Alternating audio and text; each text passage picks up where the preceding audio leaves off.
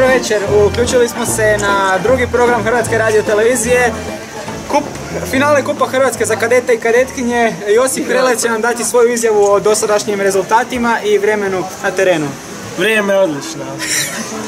Kiša ne pada, sve je pet. Možeš malo pa snima dole.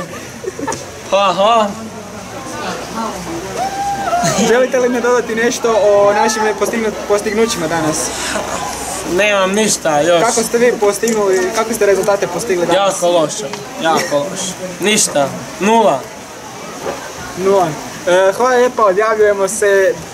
Bićemo u eteru za nekoliko sati. Hvala.